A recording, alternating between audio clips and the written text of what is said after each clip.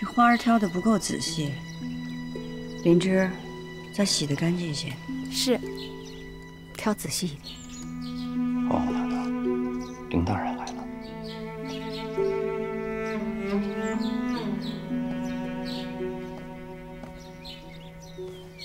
微臣请皇后娘娘安。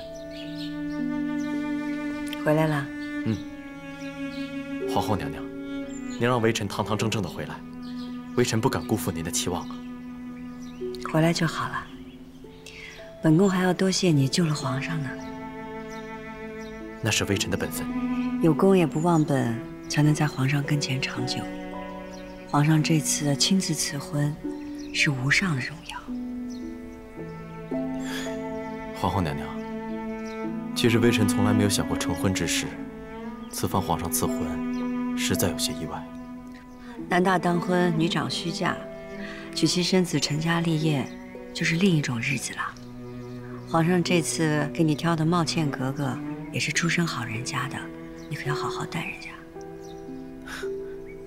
是。家中有人为你操办婚事吗？微臣的父母，早年就已经双亡。哦。江雨冰和索心在京城呢，本宫会吩咐他们给你操办。多谢娘娘美意。娘娘，这是十二阿哥吗？嗯。微臣在木兰围场的时候，就听说娘娘喜获麟儿。微臣在此贺过。祝皇后娘娘与十二阿哥将来的日子可以平安顺遂。你有心啦。给皇后娘娘请安，林大人也在啊。李公公，这回宫多日都没有向皇后娘娘请安，今日特意过来拜见。李公公来了。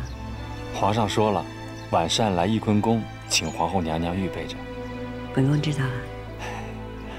自从十二阿哥出生，皇上的心算是被挂住了。几日不见，就念着。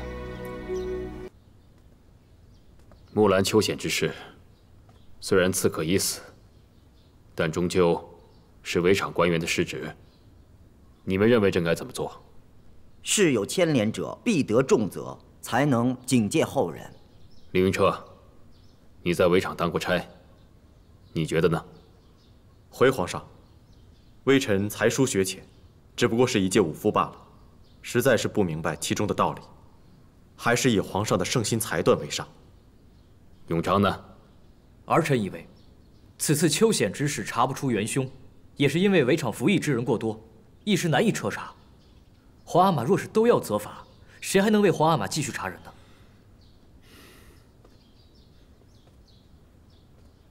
永璋啊，你是诸子中最长，本应你来救驾才是。一来，你救驾来迟，实属不孝不忠，能力不足；二来，你事后疏漏，为了沽名钓誉，不明责罚；三来，你不顾朕的安危，不顾及朕的性命，实属大不孝。皇阿玛息怒，儿臣不敢。出去！儿臣告退。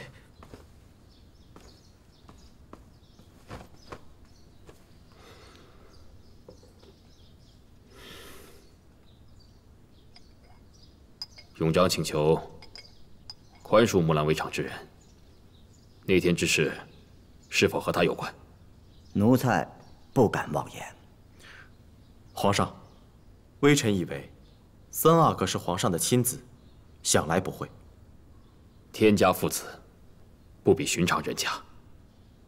可为父子，可为君臣，也可为仇仇。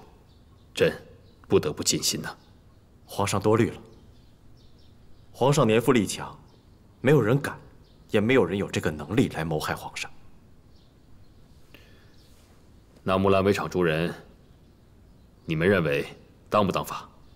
有错当罚，有功当赏。好，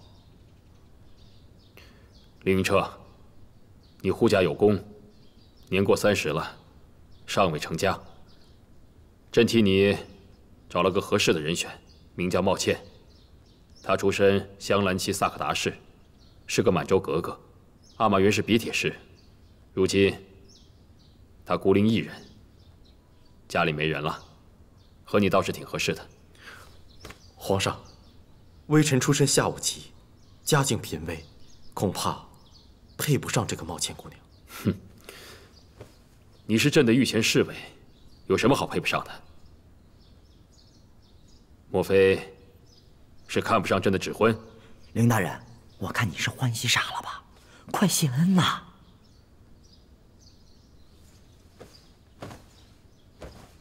微臣谢皇上恩典。